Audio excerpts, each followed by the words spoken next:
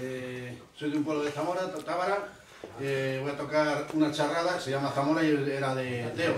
Eh, la escribió Teo. Y es autor, Wow. Mojada.